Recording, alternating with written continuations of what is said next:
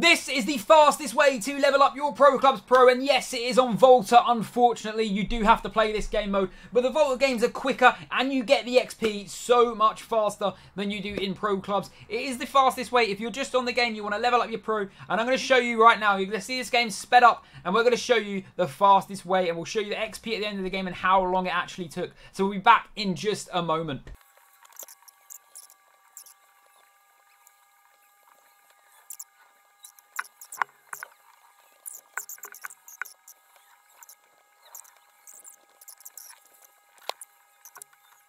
And that is the Volta game finished in the most painstaking game mode of all time to play with randoms because no one passes the ball.